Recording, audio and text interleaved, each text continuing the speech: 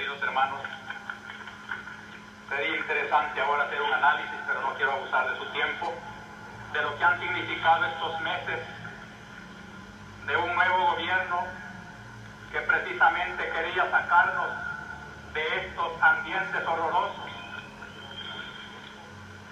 Y si lo que se pretende es decapitar la organización del pueblo estorbar el proceso que el pueblo quiere, no puede progresar otro proceso.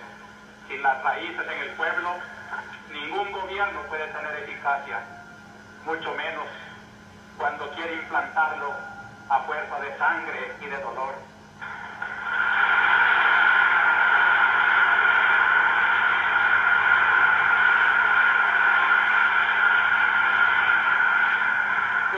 Hacer un llamamiento de manera especial a los hombres del ejército y en concreto a las bases de la Guardia Nacional, de la policía, de los cuarteles.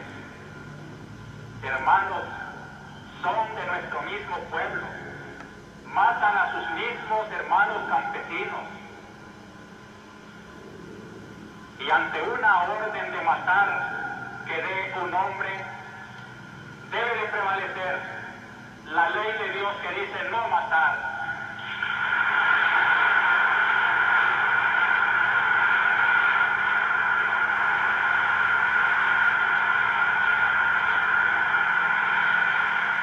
Ningún soldado está obligado a obedecer una orden contra la ley de Dios.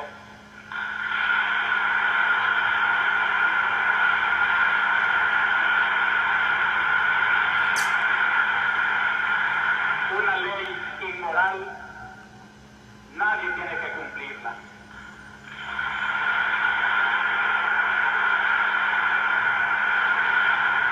Ya es tiempo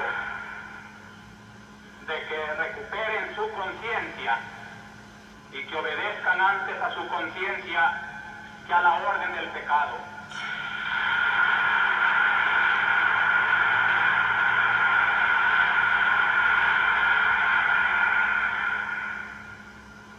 Iglesia, defensora de los derechos de Dios, de la ley de Dios, de la dignidad humana, de la persona, no puede quedarse callada ante tanta abominación.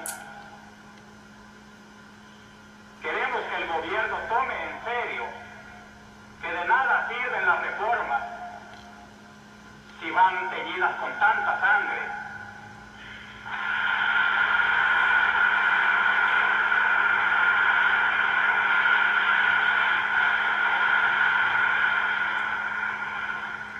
En pues, y en nombre de este sufrido pueblo, cuyos lamentos suben hasta el cielo cada día más tumultuosos, les suplico, les ruego, les ordeno